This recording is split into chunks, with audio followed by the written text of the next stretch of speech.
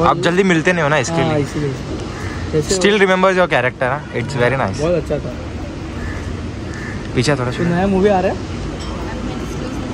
नहीं डिस्कस कर सकते। दोस्तों, आप लोगों को बता दें, बजरंगी भाईजान सलमान खान की मुन्नी, जो कि पहली बार कैमरे के सामने दिखी हैं, उनका एक नया अंदाज देखने को मिल रहा है। आइए इस वीडियो के माध्यम से देखते हैं। दरअसल आप लोग भी जानते हैं 17 जुलाई 2015 को बजरंगी भाईजान थिएटर में रिलीज़ हुई थी और इस फ़िल्म को कबीर खान के डायरेक्शन में बनाया गया था। इस फ़िल्म में सलमान खान का बेहद शानदार अंदाज देखने को मिला। वहीं करीना कपूर भी बहुत ही शानदार अंदाज में नज़र आई। लेकिन आज हम आप लोगों को मुन्नी का एक नया लुक दिखाने वाले हैं।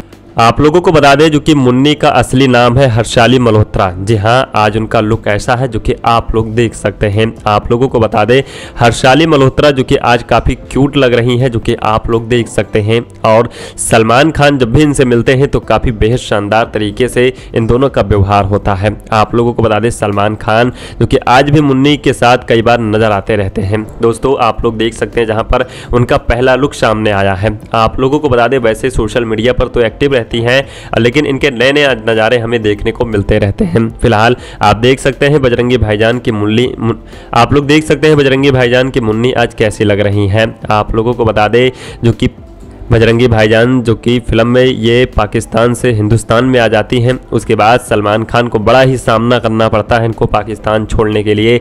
लेकिन फाइनली भाईजान सलमान खान इनको इनके घर पर पहुँचा कर ही आते हैं। तो दोस्तों आप लोगों को कैसा लगा ये मुन्नी का लुक हमें ज़रूर बताइए।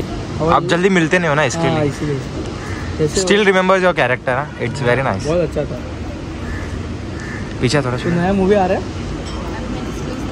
नहीं डिस्कस कर सकते। Have Thank a nice day. Have a nice day. Thank you so much.